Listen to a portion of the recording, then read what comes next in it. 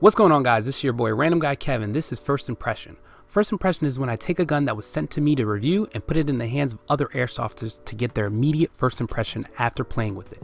This is the Lancer Tactical Enforcer NeedleTail, or the LT29. What's up guys? I go by the name of Callsign Fluffy. So, about Airsoft, I've been playing Airsoft for about 9 years, going on 9 years. So, my main primary that I use is a Umbrella Armory upgraded SRXL, the Red Black Edition. The gun that I'm using right here is the Enforcer. I think what I like about the gun is that it come, came comes with the MOSFET.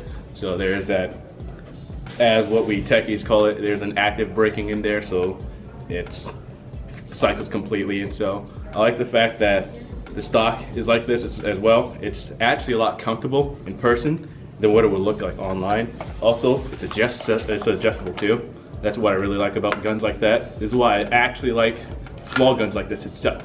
Small guns are better for indoors and so too. Um, if I were to give a recommendation, I'd say I give this gun a four and a half, 4.5. I like it. It's really reliable, it's full metal, and there's a lot of battery space in there too. Another thing that I could mention is that whenever you get the gun itself, it comes with a spare mag. And this is also a mag, mag space holder too. So, I really like it. Another thing is that um, most guns out there, they come with the standard gear uh, hop-up unit. With the Enforcer, it comes with a rotary in there too. Pretty sure it's a tight bore barrel in there too, but this is indoors. So this is meant for a CQB gun, so there's no tight bore. But I honestly like it. If I were to give it a rating, I'd give it a intermediate level. Um, it's a good beginner gun as well too especially if you're doing indoors because you have guns out there that are probably retailed like 300 400 maybe even five depending on which one you get but for a gun that's 200 bucks i like it i'd rate it and i definitely do recommend it thank you Hey okay. guys, my name is Kevin. I play for Radiation Airsoft. I play airsoft for about nine years. My primary is a fully built Polar Star, and first time I used the Lancer Tactical Enforcer. Um, I actually am pretty impressed with this gun. Uh, after running an HPA line the whole time, it's nice to kind of get away from it.